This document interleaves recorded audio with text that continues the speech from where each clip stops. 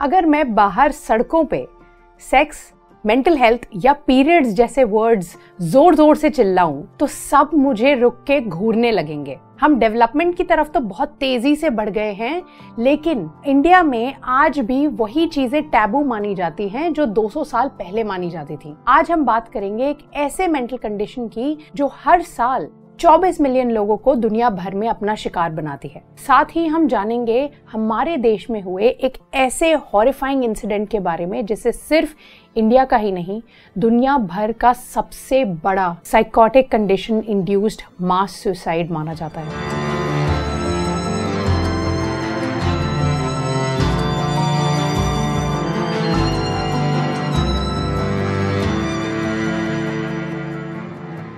W H O की definition के हिसाब से स्किजोफ्रेनिया एक ऐसा डिसऑर्डर है जिसमें अफेक्टेड इंसान को रियलिटी की समझ ही नहीं रहती। स्किजोफ्रेनिक इंसान में डिल्यूजन्स और हलूसिनेशन जैसे क्लिनिकल सिम्टम्स दिखने लग जाते हैं। उन्हें लगने लगता है कि कोई उन्हें इमोशनली एक्सटर्नली कंट्रोल कर रहा है। उनके थॉट्स और डिसीजंस भी उनके अपने नहीं रहते। इसीलिए वो सोसाइटी से भी आइसोलेट हो जाते हैं। इस डिसऑर्डर को अच्छे से समझने के लिए हम समय में थोड़ा पीछे जाते हैं जब इस कंडीशन को डिस्कवर किया गया था पहली बार। पुराने जमाने में तो मेंटल डिसऑर्डर्स को एक मेंटल कंडीशन की तरह माना ही नहीं जाता था। आप खुद इमेजिन करिए कि आप किसी गाँव में रहते हैं 500 साल पहले और आपका कोई नेबर एकदम अजीब बिहेव करने लगे एज इफ़ देर पोजेस्ड तो गाँव वाले कैसे रिएक्ट करेंगे? वो यही सोचेंगे ना कि इस पे तो कोई भूत आ गया और उसे ले जाके किसी मंदिर में किसी पुजारी से कोई पूजा करवाएँगे उसकी। Exactly exactly, right right? क्योंकि पुराने जमाने में मेंटल डिसऑर्डर्स को एक दूसरे से डिफ्रेंशिएट करने का कोई तरीका ही नहीं था कोई नॉलेज ही नहीं थी। और उन सब का समाधान ढूंढते ढूंढते भी लोग किसी न किसी स्पिरिचुअल आंसर पे ही पहुँच जाते थे। स्किजोफ्रेनिया जैसे डिसऑर्डर्स को तो सुपर चीज़ों से ही रिलेट किया जाता था। जैसे बुरी नज़र लग जाना बुरी आत्मा का साया होना या फिर पिछले जन्म में किए हुए पापों की सजा भुगतना। फेथ हीलिंग तक तो बात फिर भी ठीक है। लेकिन दुनिया के कई हिस्सों में ट्रेपनेशन जैसी प्रैक्टिसेस से स्कल में होल्स ड्रिल कर दिए जाते थे। कुछ साइंटिस्ट का तो मानना ये है कि ये प्रैक्टिस इसीलिए की जाती थी ताकि बॉडी में से इवल स्पिरिट्स को बाहर निकाला जा सके। Doctor Kraepelin was the first person to actually identify schizophrenia as a mental disorder back in the year of 1887 उन्होंने इस कंडीशन को डिमेंशिया प्रिकॉक्स नाम का टर्म दिया था, जिसका मतलब है अर्ली डिमेंशिया यानी कि ऐसा डिमेंशिया जो लाइफ के अर्ली स्टेजेस में होता है, ना कि एल्जाइमर्स से रिलेटेड ओल्ड एज में। But he was wrong about that dementia और स्किजोफ्रेनिया एक दूसरे से बिल्कुल अलग अलग मेंटल डिसऑर्डर्स थे 1911 में स्विस साइकाट्रिस्ट यूजिन ब्लूलर ने डिमेंशिया प्रिकॉक्स को स्किजोफ्रेनिया से रिप्लेस कर दिया। That means mental confusion caused because of splitting belief system 1959 में कर्ट स्नाइडर ने इस डिसऑर्डर को डिटेल में स्टडी किया और फिर उन्होंने इस डिसऑर्डर को दूसरे डिसऑर्डर से डिफ्रेंशिएट किया by naming very important first rank symptoms that appear और उस वजह से स्किजोफ्रेनिया डायग्नोस करना थोड़ा आसान हो गया। इसके बाद मेंटल डिसऑर्डर्स को डायग्नोस करने के लिए दो बहुत ही इंपॉर्टेंट डायग्नोस्टिक मैनुअल्स क्रिएट किए गए नेमली डीएसएम एंड आईसीडी तो अब जानते हैं कि ऐसे कौन से वो फ़र्स्ट रैंक सिम्टम्स थे जो कर्ट ने आइडेंटिफाई किए थे। उनमें से पहला है थॉट इंसर्शन एक स्किजोफ्रेनिक इंसान को ऐसा लगता है कि उनके थॉट्स उनके अपने है ही नहीं। कोई बाहरी इंसान फोर्सफुली उन्हें उनके दिमाग में इंसर्ट कर रहा है। उस सिम्टम का एक कंप्लीटली ऑपोजिट सिम्टम है, जो स्किजोफ्रेनिक लोगों में देखा जाता है, जिसे कहा जाता है थॉट विड्रॉल जिसमें पेशेंट को लगता है कि उनके थॉट्स उनसे ज़बरदस्ती छीने जा रहे हैं। तीसरा सिम्टम है थॉट ब्रॉडकास्ट इसमें पेशेंट को ऐसा लगता है कि उनके थॉट्स आसपास के लोगों को भी सुनाई दे रहे हैं। वॉइस आर्ग्यूइंग एक ऐसा सिम्टम है, जिसमें पेशेंट को लगता है कि कुछ आवाज़ें उनके बारे में बातें कर रही हूँ बट इन थर्ड पर्सन इसी का एक और फॉर्म भी है जिसमें उन्हें लगता है कि यही आवाज़ें उनकी लाइफ को फॉलो कर रही हैं और कॉमेंट्री दे रही हैं उसके साथ। एक स्किजोफ्रेनिक पेशेंट को ऐसा लगता है कि उनके इमोशंस एक्शंस और इम्पल्सेस कोई और ही कंट्रोल कर रहा हो। Delusions and hallucinations are also as common as 90% and 70% respectively in people with schizophrenia. इन सब सिम्टम्स की वजह से एक इंसान की डेली लाइफ पर बहुत असर पड़ता है। लेकिन स्किजोफ्रेनिया जैसे टेरिफाइंग डिसऑर्डर का कारण क्या है? वैसे तो over the years nobody has been able to identify the main cause that causes schizophrenia in people लेकिन फिर भी कई ऐसे फैक्टर्स माने जाते हैं जो कंट्रीब्यूट करते हैं स्किट्सोफ्रेनिया की तरफ़ which include number one genetic factors genetic material के डिलीशन डुप्लीकेशन या म्यूटेशन की वजह से कुछ ऐसे कॉजेज हो सकते हैं that lead to schizophrenia this disorder also run genetically in the family if one generation has schizophrenia it is very likely that they pass it on to the next generations as well. Second biochemical factors यानी कि hormone और neurotransmitter imbalance की वजह से भी schizophrenia हो सकता है। नर्वस सिस्टम के abnormalities as well as external factors की वजह से भी स्किजोफ्रेनिया डेवलप हो सकता है इन अ पर्सन अगर प्रेगनेंसी या चाइल्ड बर्थ के टाइम पे कुछ कॉम्प्लिकेशंस आ जाएँ तो that is also a cause that may lead to schizophrenia in the child when he grows up along with this even childhood trauma या फिर कोई बहुत stressful event in the child life can trigger certain episode of schizophrenia और इतना ही नहीं the season of birth for the child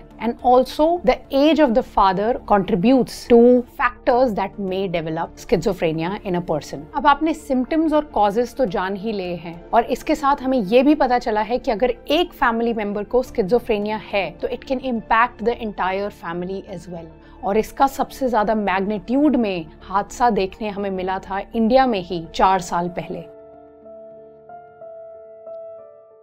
in January 2018 new Delhi में 11 members of the same family were found dead 10 were hanging from the ceiling and one lay dead, strangled. Crime scene को देखते ही police investigators ने murder को almost rule out कर दिया था। Crime scene को अच्छे से देखने पर कुछ ऐसे रजिस्टर्स मिले थे जिसमें स्पिरिचुअल राइटिंग्स लिखी थी। उसके साथ साथ कुछ ऐसे रिकॉर्ड्स भी लिखे थे एज इफ़ कोई डिक्टेट कर रहा हो। उस 11 मेंबर फैमिली के हेड थे Lalit Chundawat. Who was the youngest son of Bhopal Singh and had a traumatic past. Bhopal Singh के गुजर जाने के बाद ललित ने बहुत ही अजीब बर्ताव करना शुरू कर दिया था he also stop talking to everybody क्योंकि उन्हें पीटीएसडी था based on his past traumatic events Lalit के घर वालों को लगने लगा था कि उनकी आवाज़ खो चुकी है। लेकिन ललित ने अपने घर वालों को बताया कि भोपाल सिंह उनके सपने में आए थे और कुछ ऐसी प्रेयर्स रिसाइट करने बोला जिनसे उनकी आवाज़ ठीक हो जाएगी। और ऐसा ही हुआ। ललित की आवाज़ वापस आ गई और उनके सारे फैमिली मेंबर्स उन पर भरोसा करने लगे। 2007 से ही ललित ने स्क्रिजोफ्रेनिया के सिम्टम्स दिखाने शुरू कर दिए थे। उन्हें लगता था कि उनकी बॉडी पजेस्ड है और उनके पिता, उनकी फैमिली से उनके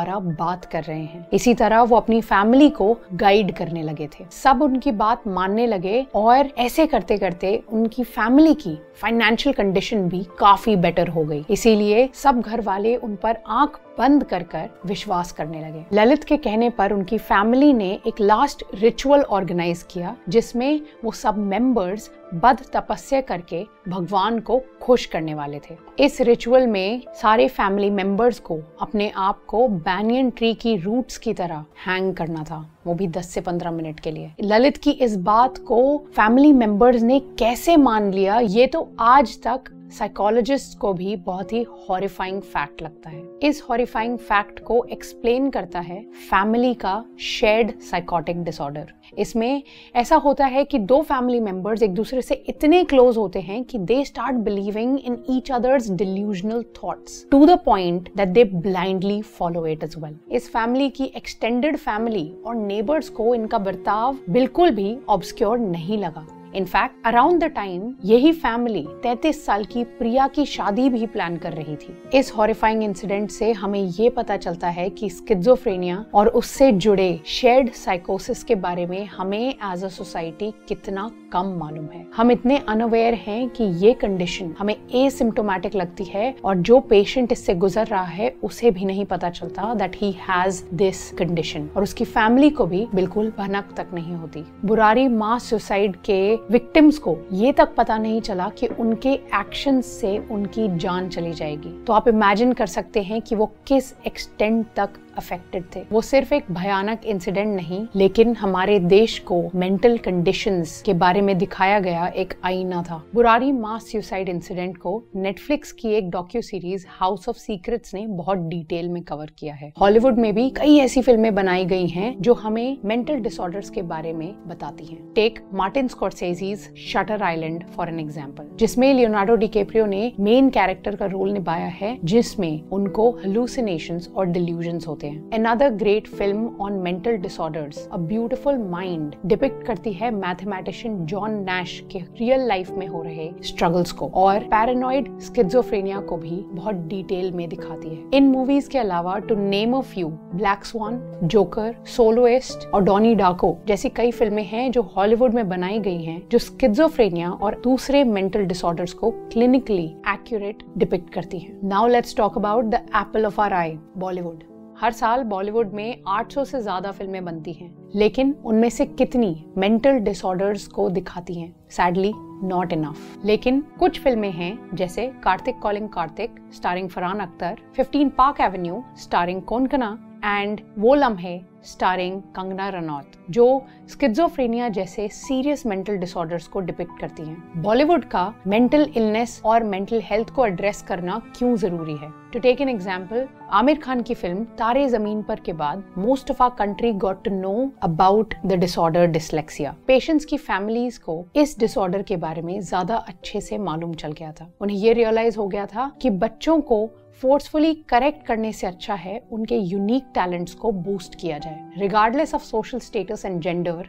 Bollywood हमारी कंट्री में हर किसी के दिल के बहुत करीब है। इसीलिए इस इंडस्ट्री के पास बहुत बड़ी पावर है to make people aware about disorders like schizophrenia right now it's happening at a very slow pace लेकिन Bollywood industry sensible writers and film makers की राइज देख रही है। और इससे हमें यही होप है कि over the years mental disorders के अराउंड अनअवेयरनेस और स्टिग्मा को खत्म किया जा सके।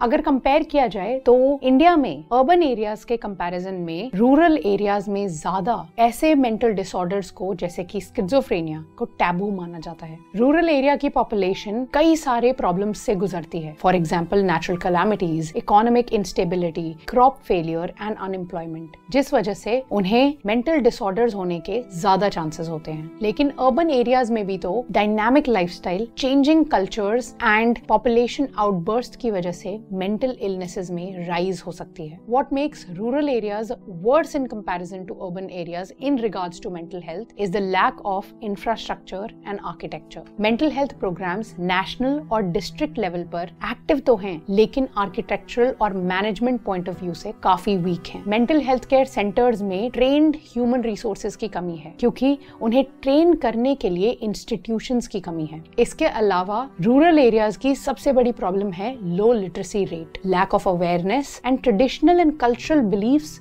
जो मेंटल हेल्थ और इलनेसेस को स्टिग्मेटाइज कर देते हैं। ज़्यादातर लोग अपनी मेंटल इलनेसेस के लिए ट्रीटमेंट सीख ही नहीं करते क्योंकि उनकी फाइनेंशियल कंडीशंस उनको अलाउ नहीं करती कि किसी बड़े शहर जाकर वो किसी प्रोफेशनल से मिल सके। और कई लोग तो इसी में फंसे रह जाते हैं कि लोग क्या सोचेंगे। मेंटल हेल्थ के कॉन्सेप्ट और अवेयरनेस के बारे में तो पॉलिटिकल इंटरेस्ट भी बहुत कम है। उसको कम्बैट करने के लिए कई एनजीओ और सोसाइटीज हैं हमारे कंट्री में जो हेल्प कर रही हैं इसकी अवेयरनेस बढ़ाने के लिए। टू नेम वन माइंड एक ऐसा नॉन प्रॉफिट ऑर्गेनाइजेशन है जो रूरल एरियाज़ में टैबू खत्म करके मेडिकल और मॉरल सपोर्ट पहुँचाने का एम करता है। रूरल एरियाज़ के डेवलपमेंट फैक्टर्स को लेकर मेंटल इलनेस के अगेंस्ट स्टिग्मेटाइजेशन जनरेट किया गया है। लेकिन पूरे इंडिया में भी तो आज भी मेंटल इलनेस को एक्सेप्ट नहीं किया गया है, जिसकी वजह से बहुत से लोगों को प्रॉपर ट्रीटमेंट मिल ही नहीं पाता। स्टिग्मेटाइजेशन की वजह से कितने ऐसे डिसऑर्डर्स हैं जिनके सिम्टम्स हमारे सामने होते हैं और हम उन्हें आइडेंटिफाई भी नहीं कर पाते। स्किजोफ्रेनिया ही ले लो। हमारी कंट्री में तीन मिलियन लोग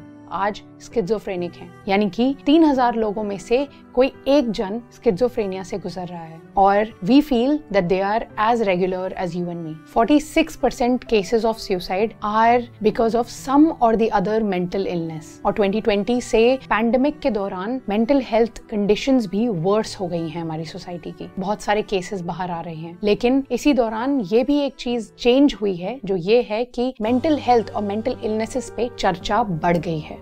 दीपिका पादुकोण ने भी अपनी मेंटल हेल्थ कंडीशन को लेके बहुत ओपनली डिस्कस किया है पब्लिक में और अवेयरनेस भी फैलाई है। Sushant Singh Rajput death was one of the triggers that led to a lot of conversation happening about mental illnesses in our country pre pandemic India में और आज के इंडिया में काफ़ी फ़र्क है। माया एंजलो का एक कोट है when you know better you do better so let's do better हमें मिलकर मेंटल हेल्थ अवेयरनेस फैलानी चाहिए और ये कॉन्वर्जेशन आगे बढ़ानी चाहिए। शरीर पर लगे जख्मों को तो हम बहुत केयर से ट्रीट करते हैं। उसी तरह अपनी और दूसरों की मेंटल हेल्थ को भी हमें उतनी ही इम्पोर्टेंस देनी चाहिए। अगर आपको ये वीडियो हेल्पफुल और इन्फॉर्मेटिव लगी तो लाइक ज़रूर करें and share it with as many people as you can so that we can spread awareness together और हाँ चैनल को सब्सक्राइब करना ना भूलें ताकि हम आपके लिए और माइंड बिल्डिंग वीडियोस लाते रहें।